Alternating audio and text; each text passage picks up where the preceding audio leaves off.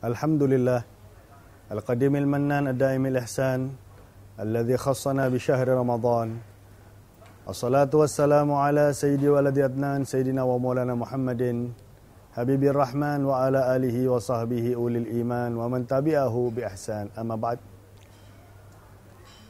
Pemirsa Nabawi TV yang dirahmati oleh Allah Telah saya sampaikan tadi di segmen yang pertama tentang lima hal yang bisa membatalkan pahala puasa meskipun puasanya sah. Akan tetapi puasanya tidak memiliki nilai sama sekali. Puasanya tidak bisa meningkatkan ketakwaannya kehadirat Allah Subhanahu wa taala. Puasanya hanya sebagai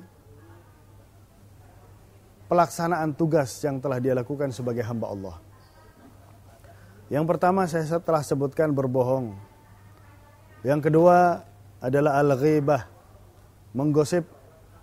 Yang mana sekarang menggosip sudah menjadi trendsetter bagi masyarakat Indonesia yang sudah yang sangat disayangkan. Hal tersebut adalah hal yang sangat merugikan bagi kita apalagi di bulan Ramadan. Rasulullah sudah mengajarkan kepada kita tuba liman syaghalahu aibahu an aibin nas. Sungguh beruntung orang yang sibuk dengan kekurangannya, orang yang sibuk dengan aibnya sendiri daripada mikirin aib orang lain. Itu yang kedua al-ghibah. Yang ketiga an-namimah, mengadu domba. Di negara kita ini sangat mudah umat Islam diadu domba oleh orang yang lain yang dengan tujuan ingin memecah belah persatuan umat Islam, maka mari bulan Ramadan kita jadikan sebagai momen kembalinya kita kepada Allah Subhanahu wa taala. Kita jauhi adu domba. Yang keempat adalah syahadatuz zur, sumpah palsu. Betapa banyak orang yang berani sumpah demi Allah, sumpah dengan nama Tuhan dan lain sebagainya. Akan tetapi isi sumpahnya adalah bohong. Yang kelima adalah an-nadharu bisyahwah. Memandang lawan jenis dengan syahwat. Yang mana kalau kita di negara Indonesia keluar rumah susah kita menjaga pandangan kita karena di luar rumah kita banyak hal-hal yang bisa memancing syahwat kita dan bisa memancing kita untuk memandangnya. Hal ini pernah kami tanyakan kepada guru kami Al-Habib Umar bin Muhammad bin Salim bin Hafid. Ya Habib, di Indonesia banyak wanita yang membuka aurat. Apa yang harus kami lakukan ya Habib? Apalagi di bulan Ramadan. Maka Habib Umar menjawab dengan jawaban yang singkat tapi sangat luar biasa. Khudh min adari tabarrujat halawatal iman.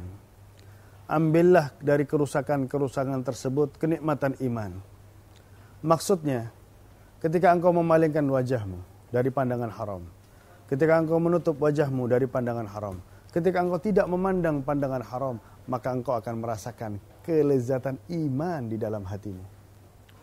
Lima hal yang bisa membuat pahala puasa kita batal alias puasa kita tidak berkualitas.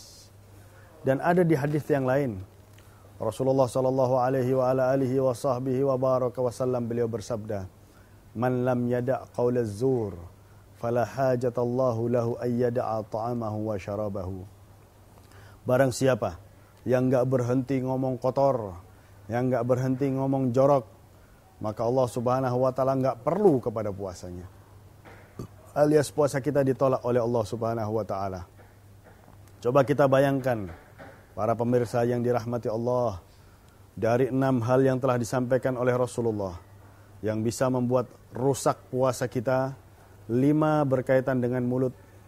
Yang pertama bohong, yang kedua mengadu domba, yang ketiga menggosip, yang keempat sumpah palsu, yang kelima ngomong jorok atau ngomong kotor. Lima berkaitan dengan lidah kita. Hanya satu yang berkaitan dengan mata kita, an-nadharu bisyahwah memandang lawan jenis dengan syahwat.